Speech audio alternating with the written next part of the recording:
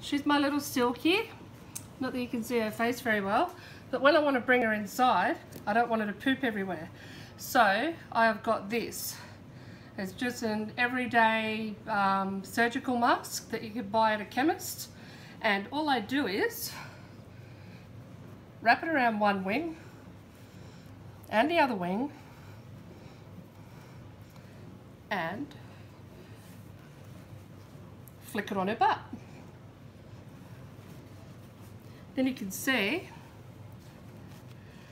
just pull it down there, and then you can't even see it when she's walking around, but if she poops, it'll go in there and I just have to throw it away. So there we go, Scooter and her nappy.